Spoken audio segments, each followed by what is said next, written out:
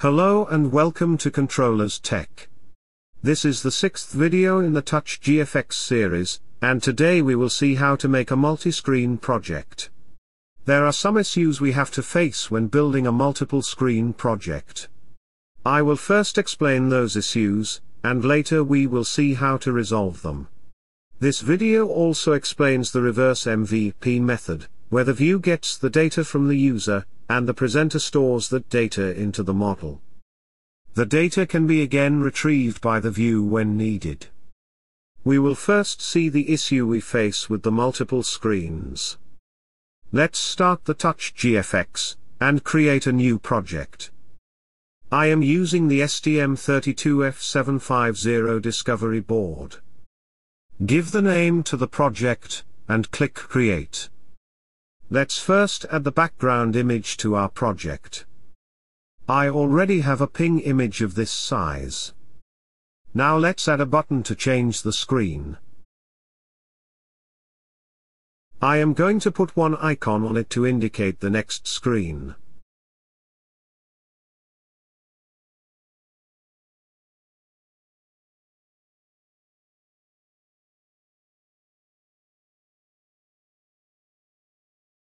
Let's add another screen to the project. I am adding one more button on it, to go back to the previous screen.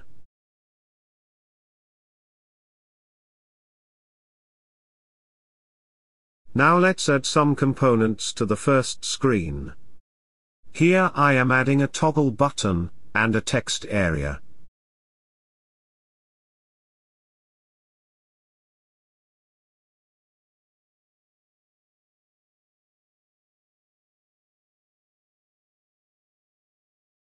We need to add the wildcard, as the text value is not going to be fixed, and it will change as per the button state.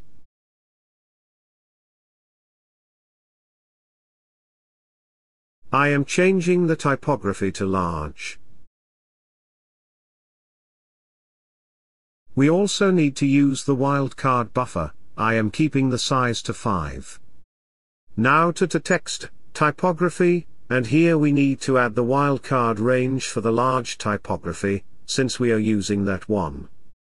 I am setting the range from 20 to 7e hexa, as it covers all the ASCII characters. Alright, our design for screen 1 is done, now let's add some interactions to this screen. First I will add the interaction for changing the screen, when the flex button is pressed. You can select the screen change animation as you desire. Now I am adding one more interaction, which will call a new function when the toggle button is pressed. We will write this toggle pressed function later in our IDE. This completes our screen 1, let's design the screen 2 now. Here I am adding a slider, and a text area.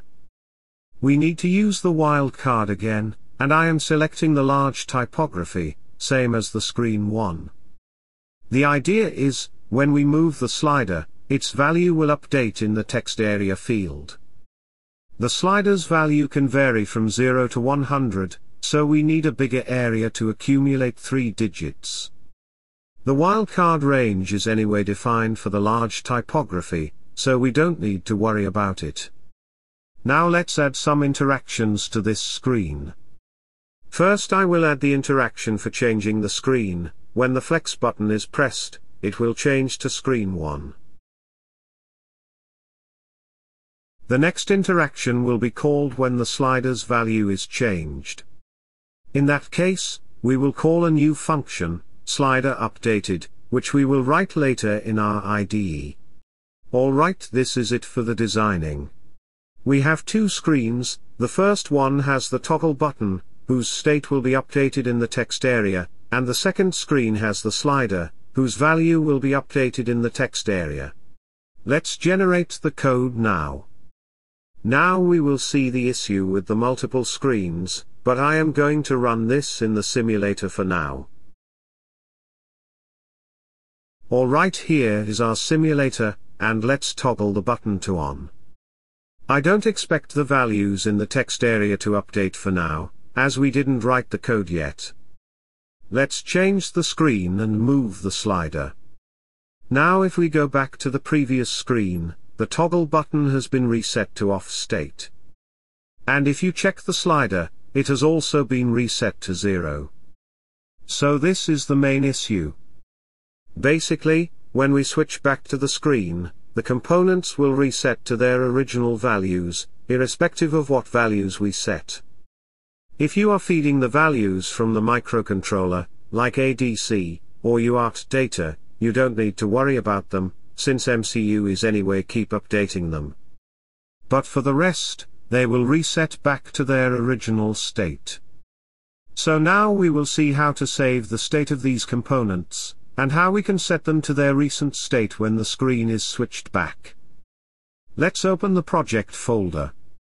Now navigate to the Cube IDE folder, and open the project in Cube IDE.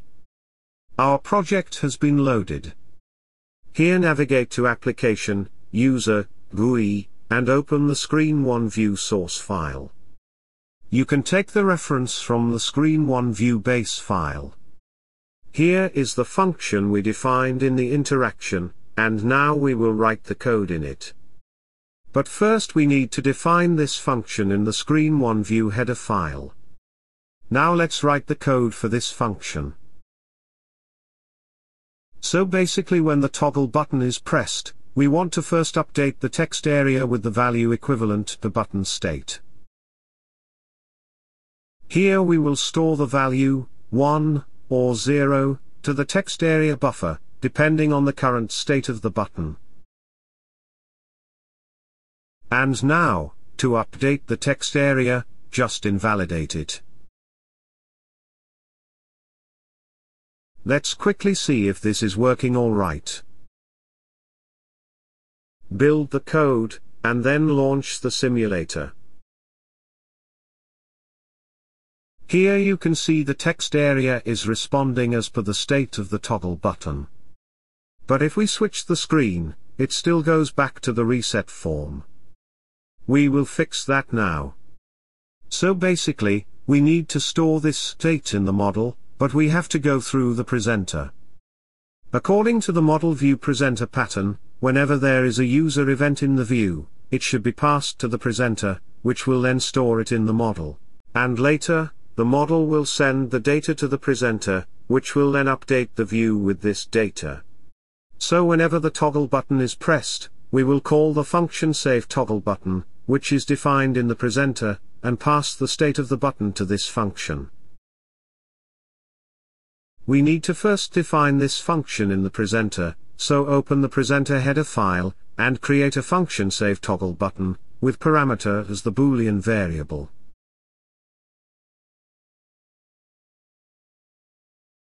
Now when this function is called in the presenter, we will call the same function in the model, and pass the value of the button state.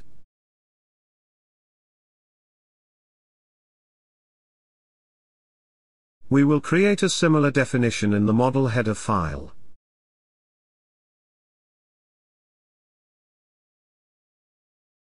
Let's define a boolean function to retrieve the state of the button. We will also define a boolean variable, which will hold the current state of the toggle button. Now in the model source file, when the save toggle button function is called, we will update the variable with the current state of the button.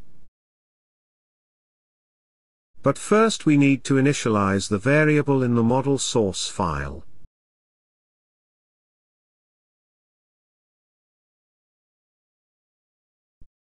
And when the function to retrieve the button state is called, we will simply return the current state of the button.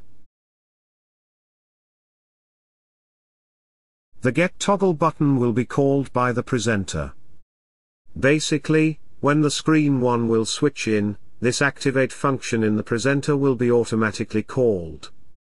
Inside this function we will call another function, set toggle state, which we will define in the view later, and pass the button state from the model. We don't need to define anything in the presenter for this operation, since the presenter is simply connecting the model to the view. Now in the view, we will first define the function set toggle state. And now inside this function, we will force the button state to have the state stored in the model. Since the text area also relies on the button state, we will again update the text area with the new value. Alright the code builds just fine. Let's see the working in the simulator. Now you can see the button state, is the same as what it was before we made the switch. So screen 1 is working as expected. Let me quickly go over it one more time. This function, toggle pressed, is called whenever we click the toggle button. Here we are calling the function, save toggle button, in the presenter, and we are passing the current state of the button to it. Then in the presenter, we will call the same function in the model, and forward the value we received from the view. In the model, we save the state of the button to the boolean variable we created. Now whenever the screen 1 switches in, the activate function in the presenter will be called. Inside this function, we will call another function, set toggle state, which is defined in the view, and pass the button state, which we have retrieved from the model. When this function is called in the view, it will force the button with the new state, and also update the text area according to the state. That completes the procedure for screen 1, let's write the code for screen 2. The process is similar to what we did for screen 1, so I will fast forward this part. The slider updated function will be called when the slider reports the change in the value. We will define this function in the screen 2 view, and then write the code. Here we will update the text area with the slider value, and finally pass the slider value to the presenter, using the function, save slider. This presenter will call the same function in the model, and pass the value to it. In the model, we will store the slider's value in the variable we defined, slider value.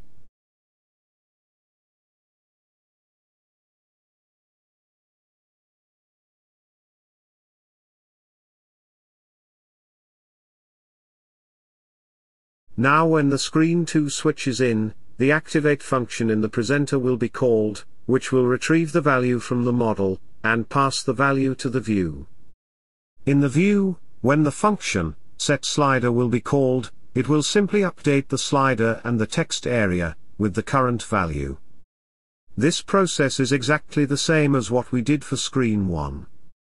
The model is common for all the screens, so you can also use it to share the data between the screens. Let's build and test this in the simulator first.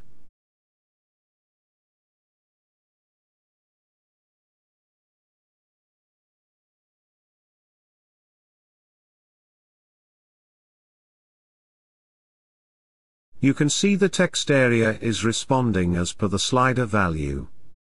Also the screen 2 is now able to hold the values even after switching out. So we have the things working as expected. Both the screens are able to restore the states of their components. Let's flash this on our board, and we will test the final project on the board itself. So here we have successfully loaded the project on the board.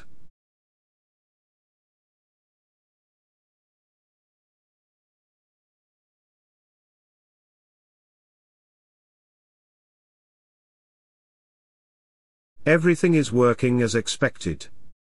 So I hope you understood how to use the MVP to save the state of the components, and how we restore them when the screen switches on. This is it for the video. You can download the code from the link in the description. Keep watching, and have a nice day ahead.